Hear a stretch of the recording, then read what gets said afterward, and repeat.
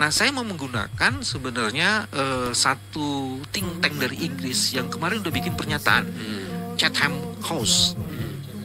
Dia, dia paling tidak ada dua atau tiga isu yang menarik di situ. Yang pertama begini, kepemimpinan Prabowo itu berbeda dengan Jokowi. Dia udah ngomong begitu loh. Jadi sangat mungkin kepemimpinan akan berbeda. Terus kemudian ditambahin lebih yang agak lebih serem nih. Kepemimpinan Prabowo lebih sulit untuk ditebak. Kita akan lihat nanti awal bagaimana Prabowo bisa menjaga secure dari ring satunya, terutama dari adiknya. Oh, udah langsung spesifik. Langsung, ini bukan rahasia. Iya. Memang Ini bukan rahasia karena ini kan pertarungan antara 9 naga dengan naga 10, naga 11, naga 12. Madu, salah satu obat paling mujarab, insya Allah. Sedia madu ternak dan madu hutan.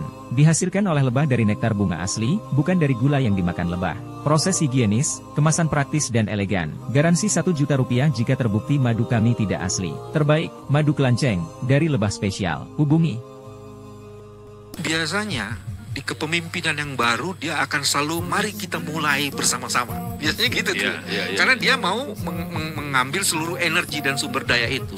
Tapi ini akan teruji nanti 3-6 bulan kemudian. Sejauh mana kemudian kebersamaan Nah, itu memang betul-betul secara genuine dan original untuk dikelola bersama-sama atau tidak.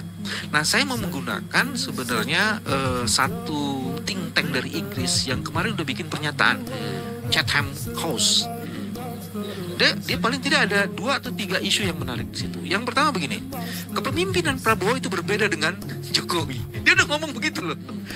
Jadi sangat mungkin kepemimpinan akan berbeda. Terus kemudian ditambahin lebih yang agak lebih serem nih. Kepemimpinan Prabowo lebih sulit untuk ditebak.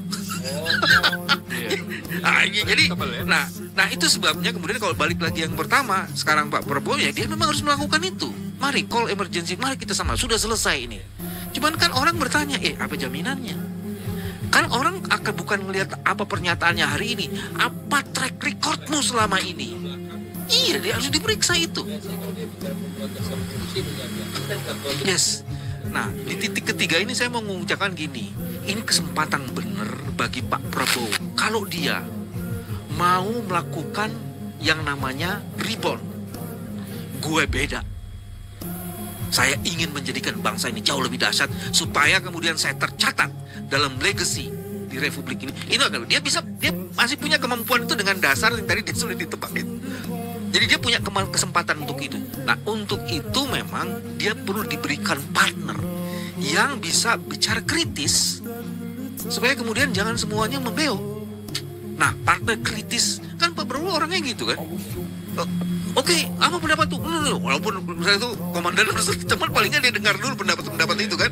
Nah, kita yang harus menyediakan itu, Refli. Kalau saya nih, Iya, Oh, Bang. setuju. Iya, iya. karena kan kita kita tidak ingin men- ingin- tidak mau cheating untuk ngambil kekuasaan itu kan enggak. Betul, tidak ada interest sama, Nah, sama titik, sekali. titik kesamaannya apa? Kita ingin membangun bangsa ini jauh lebih dahsyat dari yang sebelumnya. Nah, kalau saya, pendapat saya begini. Saya, saya, saya meng- menghidupkan setiap peluang sedikit pun itu. Jadi itu sih posisi saya. Saya sadar bahwa ada kesulitan begitu.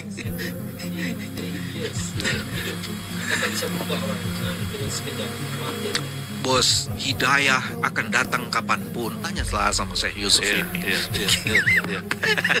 Jadi gini, kalau kalau kalau saya sepakat dalam arti kata, jadi kita ini tidak tidak apa, tidak anti lah ya, bukan kita ini cuma mau menginginkan siapa yang kita harapkan berhasil, kalau enggak semua jelek tidak.